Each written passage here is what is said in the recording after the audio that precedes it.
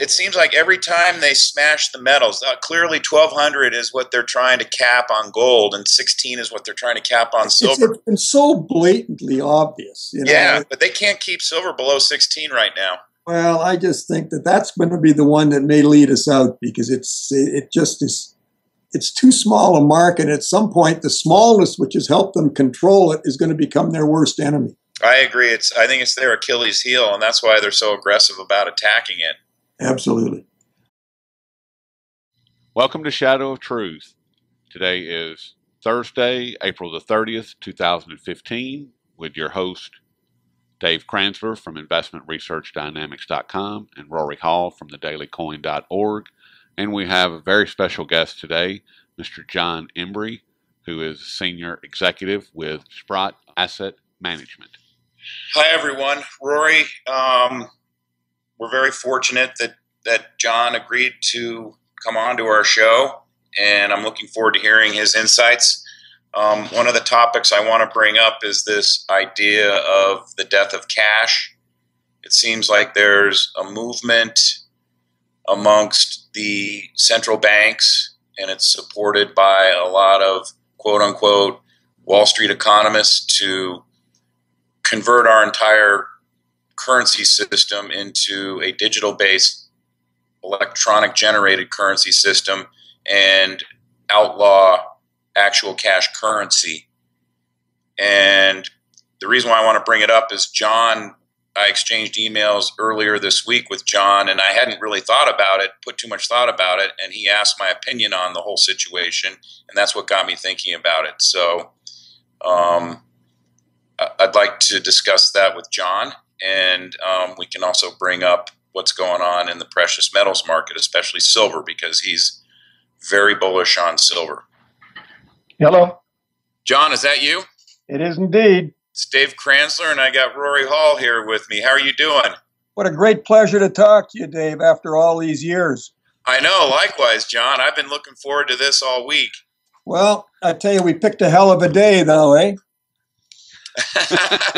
well, I was going to get to that second on the list, but since you brought it up, why don't why don't we talk about it? What what do you make of this uh, this drive-by ambush on the precious metals? About 30 seconds before the jobless claim was reported, they whacked gold for about close to twenty dollars, and they whacked silver. Silver was up as high overnight to 1673 and they whacked it down to 1580 so they took silver they down almost took a buck off the silver price you know i mean it's just par for the course. This sort of blatant activity to me suggests that there's something even worse behind the scenes than you and i think. It's just bizarre it's just bizarre behavior. Well it's interesting that you say that because um, I, I know you and i both through communications with Bill Murphy, kind of independently mentioned to him around mid December that we had a feeling something's blowing up behind the scenes just from the way that they're they're trying to keep their foot on the precious metals. And it was right around mid December, and that sort of ties into right around when the Fed's reverse repos with foreign institutions went parabolic. Yeah, that was a great piece of research on that uh, reverse repos because I mean I think it told it, it really told a lot. You want to throw out some ideas for what you think might be going on? Well, I think one of the great problems, and we've I think a lot of people have recognized that they just don't want to really deal with it because it's it's so difficult, and that's this whole issue of derivatives. All I can see is increasing volatility in the system. I mean, when you have the oil price largest traded commodity in the world, dropping in half in, in a very short period of time. You have talk about Greek exit from the euro and the volatility in the Greek bond market and just general volatility in the system. This is blowing a hole in derivatives. And I mean, given the how intrusive they are on onto bank balance sheets, there has to be a problem that they're just trying to cover up. And uh, I think that may be the, the real issue. Speaking of derivatives, uh, John, do you remember uh, a few weeks ago that bank in Austria blew up? Yes, I remember that well. And it blew up a bank about two weeks later over in Germany. Do you think that that is playing a part in what we're seeing right now? Without question. I think, you know, it's one of these things. Like, I'm a huge believer in Austrian economics. And when you reach a stage in an economic cycle where you can't add credit productively, then the problems start to manifest themselves. And what we can't sort of put our finger on is what is going to be the particular black swan that is finally going to tip this thing over. And it's frustrating because you know you, you, you have a strong feeling that you're right in your analysis, but you can't get sort of the final piece that's going to uh, sort of topple this over. Well, I, I, think that that Austria bank has is causing more problems than than most people realize. I mean, I don't disagree with that at all. I mean, it's, it's ironic because the 1931 failure of an Austrian bank sort of got it rolling in that in that cycle. Really, I didn't know yep. that. Yep. Well, and it, I mean, it really kind of tells you just how massive the derivatives problem is, and, and they've done a great job at hiding the full scope of of how big the derivatives market is from us. And I've I, always I've always been of the view that um, part of the reason that that Cyprus was bailed out, bailed in and bailed out, really, was because it, if just even a small country like Cyprus blows up, it's going to trigger the huge derivatives credit default daisy chain, and you just see massive counterparty default swaps. And well, go I ahead. think they learned their lesson back in 2007 when they let somebody big, what was a counterparty, go down, and they really had a hard time sort of stifling it. This time they don't want to, you know, make the mistake of letting it get started. So I don't know how long this can continue, but it, it, it is frustrating. How can they contain it? Well, I don't think they can ultimately. I mean, it's just one band aid on top of another. And at some point, it's going to rupture. We just don't know quite when. And I just think this this frenetic activity that, that's in these markets, like I was just looking before we started chatting, there's some suggestion that the Japanese came in and, and you know put liquidity in and sort of suddenly the European or the German bonds started to recover and the US stock market started to recover. They can't let anything get going on the downside in the collateral in the system, I don't think. And they will fight this till they like till they run out of ammo. I, I sort of came to the conclusion about a year ago that um, they may have that ammo until something causes the the dollar to if not collapse outright, depreciate it seriously in value. I think that's probably a pretty good analysis because certainly, I mean, one of the major impacts in the last, you know, six months has been this inordinate dollar strength, which I always characterize as rather than dollar strength, it's weakness in all the other currencies that make up the trade weighted dollar, but it still manifests itself as dollar strength, and everybody sort of jumps up and down. Well, I'll tell you what's interesting about that is the dollar did the same thing in 2008 and it was it was attributed to a scramble by predominantly European banking institutions scrambling for cash in order to keep paying their their dollar-based liabilities because the asset side that was generating cash to fund those liabilities had gone down so much in value and I have a feeling that's what we're seeing this time also. I mean, yeah, I don't, I, I, don't think there's any doubt, and I think it extends beyond the European scene. I think it's in, right into the third world. I mean, there's an awful lot of borrowing in American dollars globally, and then this strength in the American dollar just makes the problem that much worse. So there's just an awful lot of moving parts. And I must con- confess, I've got to tip my hat. These guys have done one heck of a job holding together a situation that I think was ultimately fatal. But it, put it this way, I always like to say I'd rather be playing my hand at this point than their hand. And it's just a matter of how long we're going to play.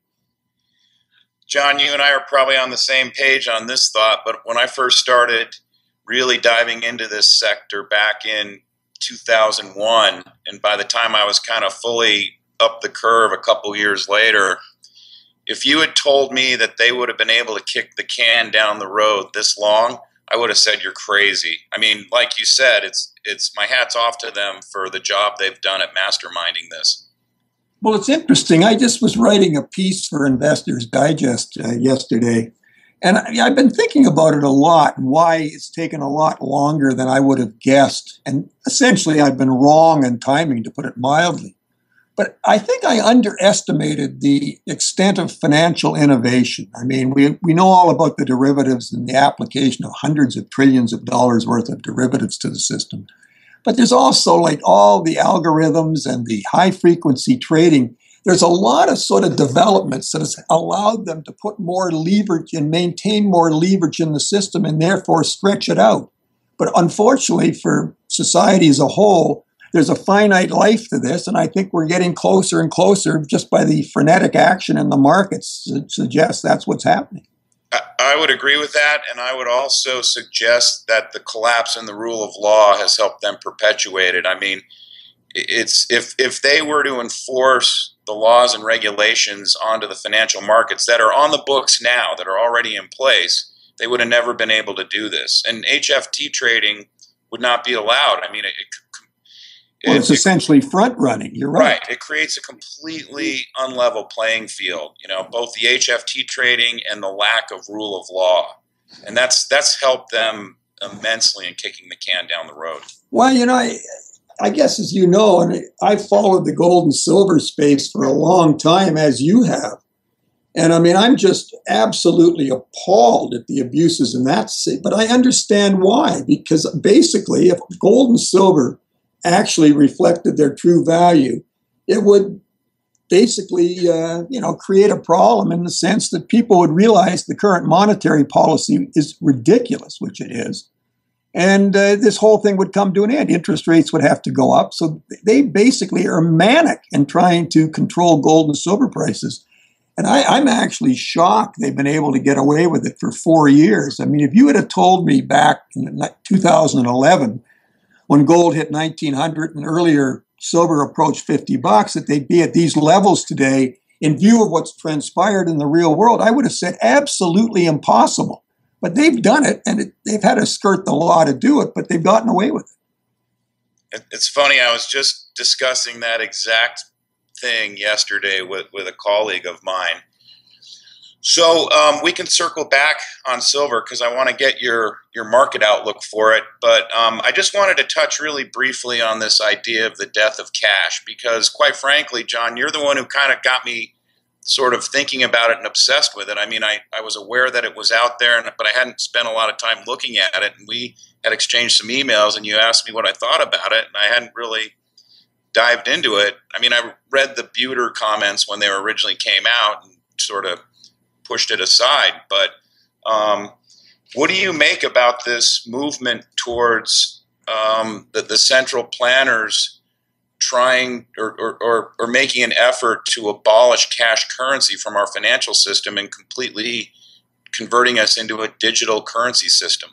Well, I, I think part of it relates to this whole idea of negative interest rates on long bonds, or financial instruments of any ilk I mean, why would anybody accept a negative interest rate on something if they could just hold their cash? I mean, to me, it just sounds absurd.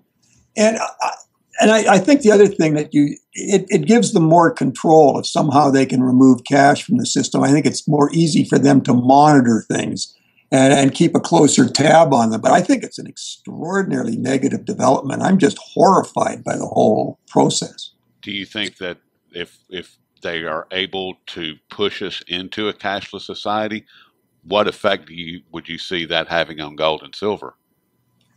Well, I, I think eventually that uh, gold and silver will reflect. I mean, you can't get away from the essential problems in the society which they've been covering up.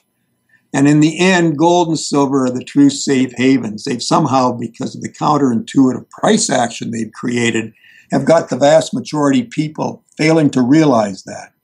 But I think that uh, they can put us into a cashless society, but they can't deal with the debt problem ultimately. And at that point, I think gold and silver come to the forefront, particularly because they've been so suppressed and they are so relatively cheap. Like I was just musing on the fact that people, rich people, have figured it out. I mean, they're putting their money into real things. I mean, the prices of art, diamonds, high end real estate, et cetera, et cetera, are exploding. The only thing that in that ilk that is not participating, and it's actually going the opposite way, is gold and silver in their equities. I, this will all solve itself with a violent move at some point, and I don't know whether it will be initiated in the market or it will be initiated by some sort of a reset driven by China or one of the large gold holders in the world. Do you, are you seeing large accounts coming into Sprott Asset? based on what you just said? I mean, as far as people coming in to get gold and silver? We're just seeing it marginally so far. Like, I don't believe that in the West, and we deal primarily in the West, that this mindset really has taken hold at all. Where it's taken hold, as you well know, I mean, is in the East. I mean, right. the offtake of gold in particular, but silver too, in China, India, etc. I mean, I, I can't get the numbers to work. Like I don't know where it's all coming from. that's my that's been my favorite question, John, for about two years now. Where is the gold and silver coming from? well, I hope I live long enough that it's finally explained to me. Silver, in particular, like silver drives me crazy because there is a well, the vast majority of silver that's mined is uh, is used and it's it's used in I think growing uses, and it's a very vital uh, material in, in the in the things it's being used in. And there's so little in the above ground inventories are, as far as I can determine, relatively negligible, negligible, particularly when you put them into dollar terms. So how they've been able to sort of stretch this out in silver is an utter mystery to me. And I just I suspect that it will lead to an explosion in the silver price that will be unfathomable to most people who don't understand what we're talking about. I You know, it's interesting that you bring that up because um, a couple weeks ago we we had a chat with James Turk, and he was referencing the fact that that gold was in backwardation in the London market and I just listened to a recent interview on the internet with him, and he also referenced silver now being in backwardation, which means that there's a greater demand for immediate delivery of physical silver than there is supply of silver. Well, that certainly is the case. I know James well, and I've got utmost respect for his thoughts, and he monitors this stuff very closely from his post over in London. And I, I agree with them, but, but it's still somehow, even when they crush the price a dollar today, there's physical transactions going on, I gather, at the new price. Where is the silver coming from? It's, it's a mystery to me. And JP Morgan just making that announcement that they're going to take, I can't remember the number, but it's some massive amount of silver that they're adding to their to their hoard once again, where is it coming from? I mean, this is odd, you know, because J.P. Morgan apparently is accumulating physical silver, yes. while at the same time being the major short in paper silver.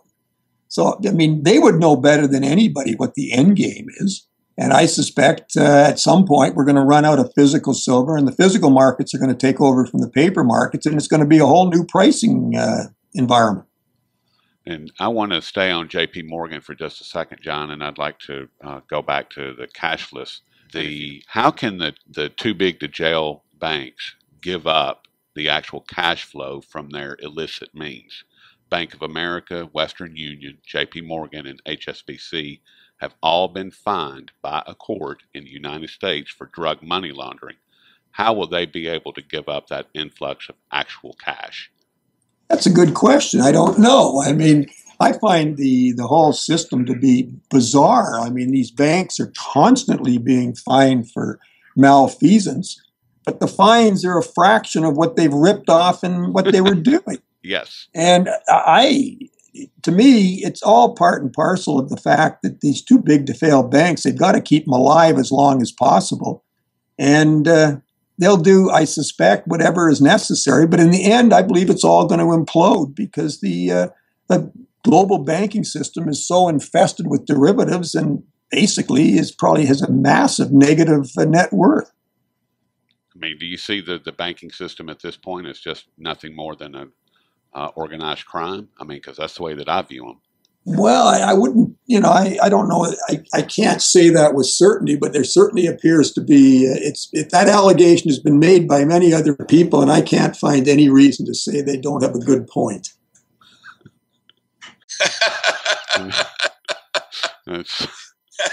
well said.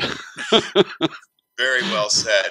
Well, um, let's talk about silver, Dave. I mean, the the the upside in it. Like this is to me why all the pain is worthwhile. Like as long as you are not playing with the sharks in the paper market and getting cleaned out on a regular basis, you're using this opportunity to you know acquire inexpensive silver in some sort of a paper vehicle where you know the silver's there or in your physical possession. I think you're going to wake up in the not too distant future and you are going to be shocked at the magnitude of the price gain. I think the first target's obviously the all time high, which was created at the time of the Hunt uh, era of 50 bucks. But I mean, I think that's just jacks for openers. How long do you think that that's going to take? Um, well, I think John? it's all the part and parcel of the unraveling that we were talking about earlier. And I, I said that, and you know, you always have to take the uh, the plate way out and say, look, I know what the ending's going to be, but I still can't get the timing down. But it with each passing day, because it's gone on infinitely longer than I would have ever believed, we're getting a lot closer.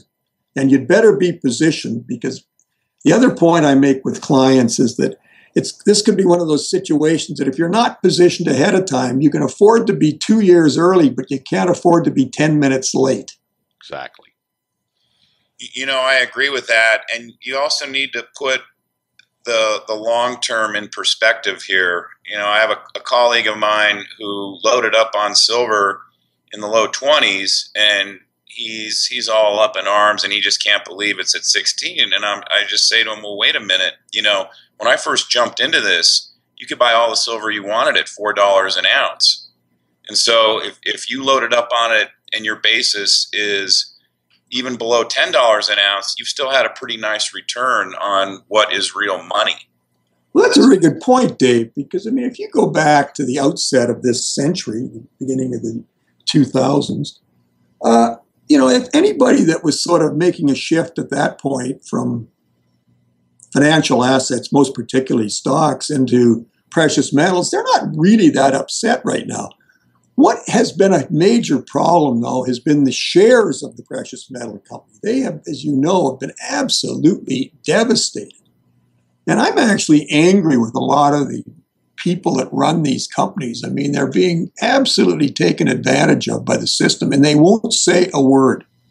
That's you know that's been we've had that problem with with the it's it's really the senior mining companies, John. In my experience, the the junior company managements. I mean, they're they're not vocal about it, and I think you know there's probably a you know a reason for that, but they're all aware of it, and they and they they all know what's going on.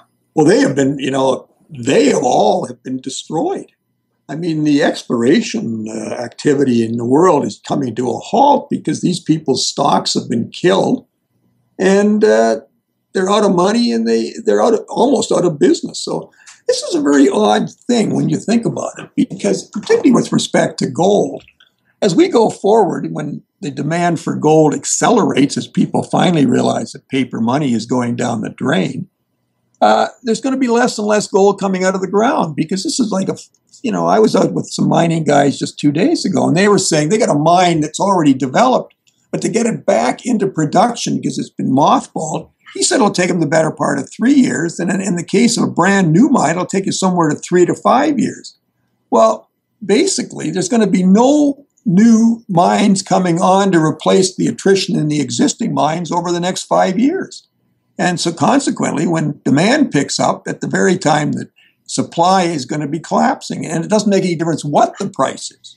Yeah, you know, that was actually an issue you know, at, at the start of the of this century, where you had a lot of the exploration companies had just been run out of business, and there wasn't a lot of of junior exploration going on, and, and we had the same thing. And then over the next five or six years, a lot of these mines got developed and brought into production, and it, sort of fed into the physical supply. But you're right. I mean, exploration, new explorations basically shut down, and, and all you're looking at now is a situation where you've got juniors with proved resources, and hopefully the senior companies aren't going to be able to take them over right now. You know, we haven't seen a lot of we've seen some M and A activity, but not a lot, and a lot of it is because the, the currency that these senior companies would use is so depressed in value, i.e., you know, stock for stock. Right. You know, but it's funny though, Dave, because I believe there's way more leverage in the smaller entities, the, the good ones. And the last thing I want to see is some of the smaller companies that I like taken over by a major because my upside is going to be constrained by that development.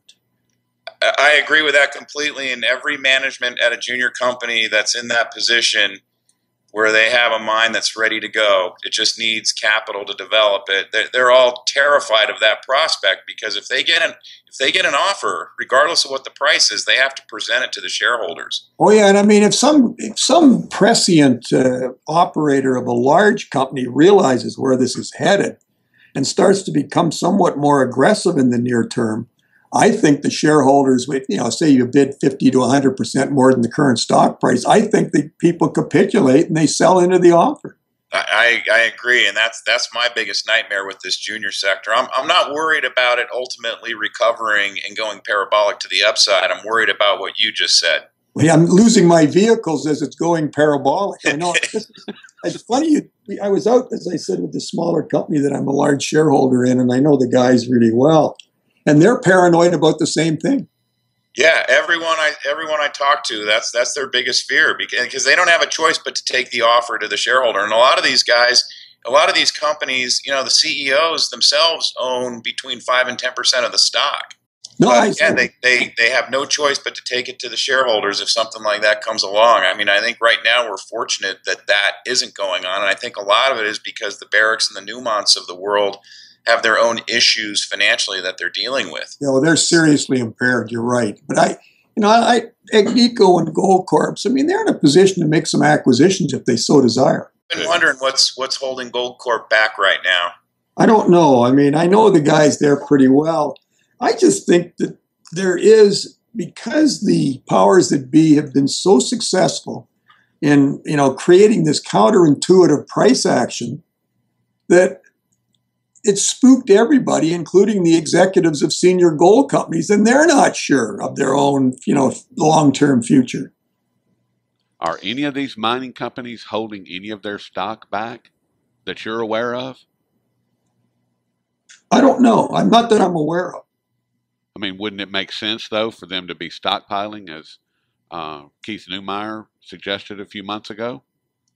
I mean, do you think well, that that would be a good play for for the in particular the primary gold and primary silver miners? I think it, particularly the silver producers, if they're basically in a position to do it. But when you've got like silver's interesting because 75% roughly of the production coming out of the ground comes as a byproduct of base metals.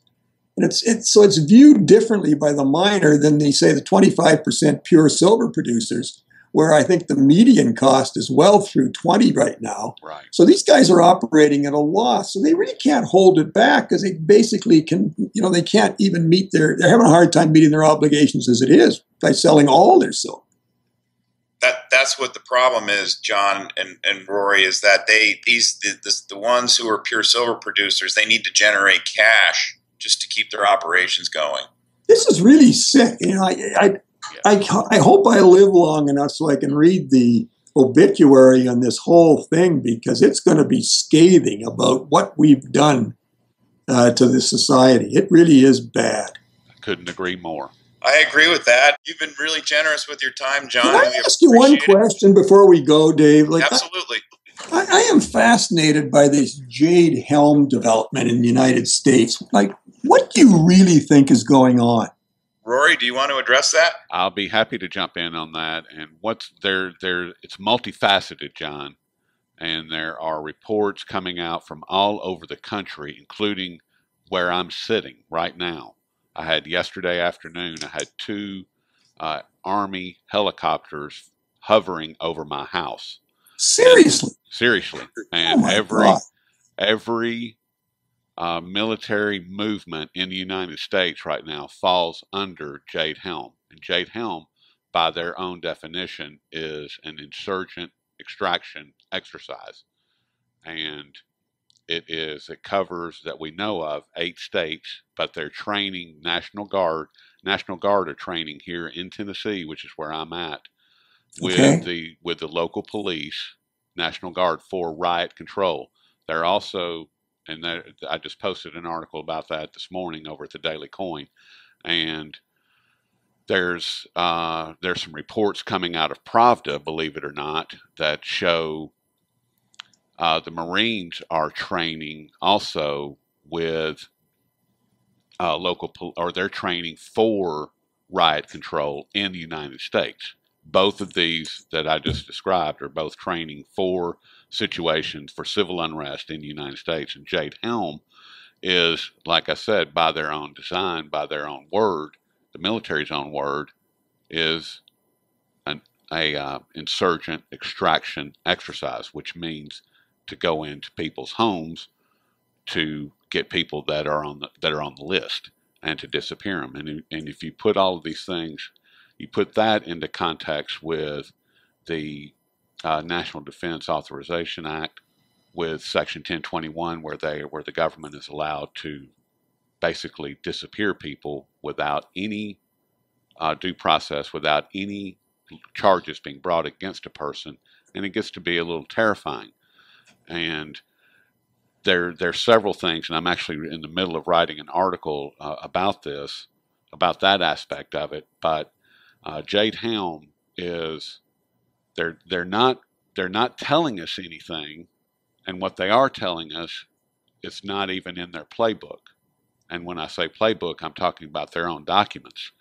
Mhm. And it's uh, there was a town, there was a community in Texas that stood up and said, "We want to know what's going on, and we don't want you on our property, on our private property." And the governor, just yesterday, the governor of uh, Texas, said, I saw he called out the Texas Guard or something. Yes, he called out the Texas Guard and said, "You are to monitor every activity going on."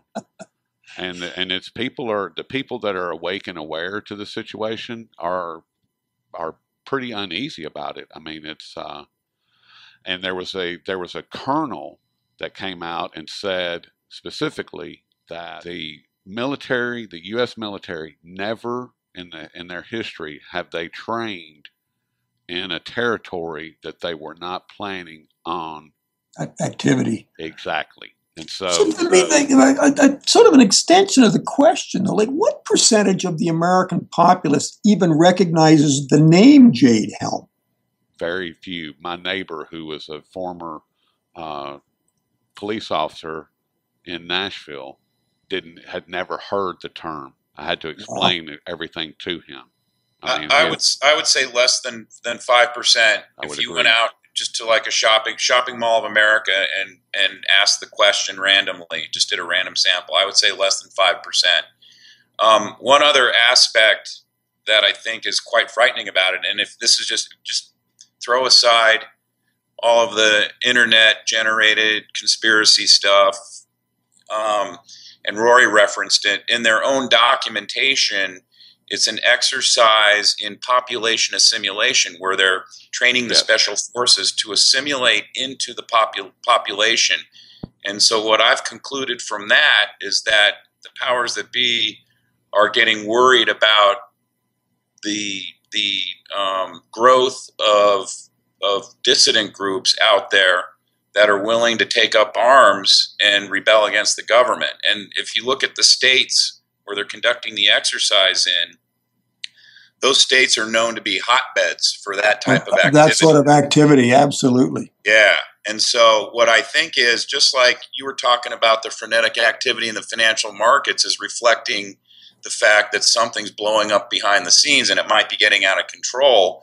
I think they're worried about, you know, some sort of financial event that's gonna that's gonna be a huge shock to our system, and I think they're worried about the population's response to that. I Well- think that is exactly my take on it. You know, I'm looking at this and I know there's sort of Baltimore and Ferguson and everything. I think that's just minor compared to what could happen if, say, the US dollar collapsed and I mean, the whole system started to become unstuck and you've got so many private uh, people with arms in their possession. I mean, I think it could get ugly. So I can understand why they may be doing it. But it is it is not the United States I was born and spent the first eight years of my life in. am still in Nashville. I was born, raised here. I've left it a couple of times, and just the community itself has changed dramatically to the point to where the local police are not the same, the uh, government is not the same, the federal government here is completely out of control, and I think that part of what's happening also, uh, Dave and John, is that you've had the situation last year at the uh, Bundy Ranch where the oath oh yeah, I remember that. where yep. the oath keepers showed up and there was a standoff, and then yep. and now this year you've got much smaller, not not near the coverage, but you've had the exact same thing. The Bureau of Land Management showed up at a at a mine in southern Oregon and the Oath Keepers are there right now as we speak, standing vigilant against the Bureau of Land Management, and the the BLM has finally has once again had to back down because of local support by the authorities, by the, the local government, by the, the community. They've had to once again back down. So they know, the government knows that there are people that are willing to respond immediately and react immediately to situations. And then, like you brought up, John, the, the situation in Ferguson, situation that's currently going on in Baltimore, they can see that people are not as as afraid of the police as they think that they should be because the, of the violence, the level of violence yeah, yeah. that has that has been put in their face. So there's not. A, I, I was just I sort of sit around and philosophize. There's not a lot of good reasons about being old other than it beats the alternative. But in, this, in this instance, I'm glad the greater part of my life is behind me because things were terrific in North America in the post-war era. I think about that all the time, John, and I, I look at you know like my nephews you know 13 and 11 and i'm i just it, it makes the hair on the back of my neck stand up to think about what kind of future they're going to face. It's not going to be what we, it's certainly not going to be what we experienced and uh, that's I, who knows? The future is unknowable but i don't think i can guarantee you one thing it's going to be infinitely more challenging than anything we'd seen in our lifetimes. I completely agree with that now i've only got one more question dave sure who's denver going to take in the first round tonight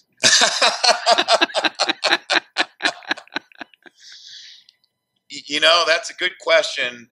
I know they. I think the the, the consensus view is that they're going to take a, a linebacker, but I have no idea. I wouldn't be surprised to see them wheel away their first round pick and and and trade down and get more draft picks later in the draft because Denver's had a lot of success. They need to address offensive linemen, and they and, and they've had a lot of success drafting sort of wallflower players in lower rounds. So I wouldn't be surprised. Well, it's interesting. I saw a comment from one general manager. I mean, one of the worst things you should be doing is drafting for need. You should be, you know, getting more picks and drafting the best players available. Anyways, look, it's been a delight talking to you guys. And Dave, you know, maybe we should chat more often. You know, like emails are good, but I like conversations. I agree just just let me know if you want to shoot me a, a, contact phone number or i can contact i can send you my contact phone number and you can contact me from whenever absolutely whenever. so we'll, we'll do that uh, it, well in a very short time and uh, we can sort of compare notes because i think things are going to get real interesting very soon I, I agree you know a lot of people think that um, this whole thing is going to hit the wall by september I know that. I mean, it, it, to me, it's just too many moving parts. And these guys have been good, but you can't hold it together because everything's flowing against you. Yep, I agree. You know, one of the things that one of the events that it's kind of pegged to is this idea of China, and we, we will have you back on again on this show. I think this was one of the topics I wanted to talk about, but it's it's a whole show in and of itself, and that's sort of the the China gold yuan SDR thing Oh yeah, absolutely. I mean that that's huge, and I don't. I think the one thing that I can't answer, and it drives me crazy. Like I mean, the Westerners that stupid to sort of let all the gold get shipped east, and then at the end, the Chinese sort of back the yuan and sort of take over the reserve currency or take over the dominant position in the SDR or whatever. And it, the impact that it has on North America is devastating. Do you see them doing that with in tandem with Russia? Yeah, I do. I think that basically the, the East is very unhappy with, particularly the United States, but the West in general. And I think there's, you know, you can make the case that there's a more natural alliance between Russia and Germany than between Germany and the US, and China's making moves in that direction. And uh, there's a lot of things going on that I don't think are terribly positive for us Westerners over here. I, I just read an article last night, and I can't remember. Oh, I know it was uh, Steve Stephen Leeb, and he was talking about the natural connection between Germany and China that that doesn't get published and publicized by the mainstream media. Right. And I found that to be fascinating. And Dr. Yeah, Paul I, I, agree, I, I agree with Leeb. I think there's a natural, there, there's a lot of reasons, basically, to uh, sort of be changing alliance. And Dr. Paul Craig Roberts said the same thing, but he was saying that the natural alliance between Germany and Russia, actually.